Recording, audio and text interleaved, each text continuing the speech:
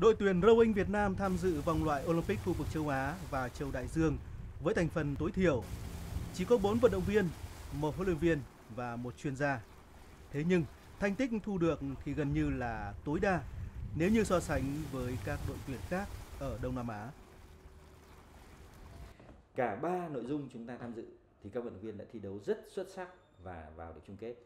Và hai trong số ba nội dung này chúng ta đã đạt được cái tiêu chuẩn vượt qua vòng loại của của của liên đoàn à, rowing thế giới và của Olympic.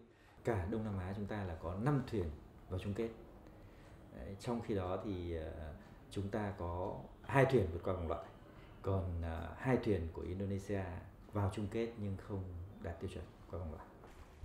Những vận động viên đã đạt chuẩn thành tích được dự Olympic là cặp đôi Lương Thị Thảo, Đinh Thị Hảo ở nội dung thuyền đôi nữ hạng nhẹ và Phạm Thị Huệ ở nội dung thuyền đơn nữ hạng nặng. Tuy nhiên, sau giải đấu này, mỗi quốc gia chỉ được cử một nội dung tham dự Olympic, nên nhiều khả năng Lương Thị Thảo và Đinh Thị Hảo sẽ đại diện cho rowing Việt Nam tham dự Olympic Tokyo 2020. Như vậy, tính đến thời điểm này, thể thao Việt Nam đã giành được 7 suất dự Thế vận hội.